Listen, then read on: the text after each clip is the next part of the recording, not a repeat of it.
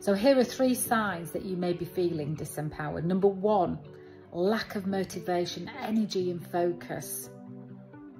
Number two, negative self-talk. That doubt that is in your mind of whether something is possible, whether you can do it, whether now is the time. Number three, feeling overwhelmed and helpless, looking at the enormity of what needs to be done. So we're going to tackle number two.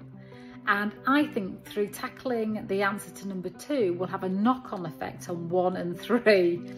So listen to what your internal dialogue is saying and then just do a quick audit on it. Is that truthful? Is that factual?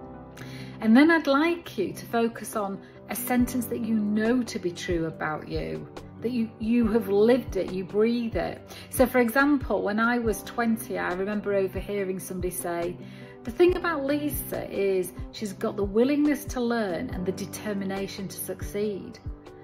And I have held onto that as a belief. I've leaned into it for over 30 years and it has stood me in good stead.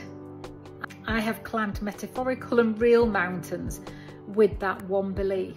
So what one sentence will be your best friend that you can lean into that's going to help you get going at least to take the small steps that then become the bigger steps and before you know it you've climbed the mountain